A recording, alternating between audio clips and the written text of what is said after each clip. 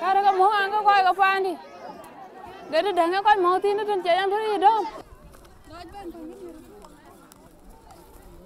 Don't want to lose the connection with the mothers that we feed, the children who are suffering from chronic malnutrition. And I avoid that by ensuring that I have the ability to spend time with my team on the ground who's performing the work, as well as those who are the beneficiaries of the work that we perform.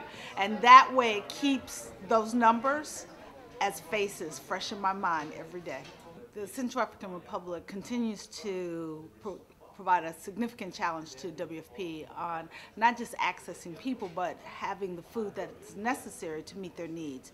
We have right now over 53 trucks stuck at the border that we can't get into the country. And our failure to move those trucks into the country means that by the first week in February, we are completely out of food. So, what we're now looking at is how do we airlift food into Bangui to support the needs of those who are trapped at the airport. In fact, we were able to get about 10 trucks in last week, uh, two weeks ago with the assistance of troops. The challenge is that we haven't been able to get any more in. Traditional donors are the donors who are providing the majority of the assistance that we've received in Syria, which means that other places we've had to cut. In, in Somalia, for example, we cut refugee rations in uh, Dadaab by 20% between December and January.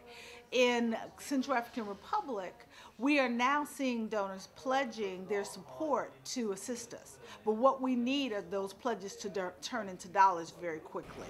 Because both in Central African Republic and in South Sudan, we must move food before the rainy season in order to ensure that we have the food in country at the time that it's needed.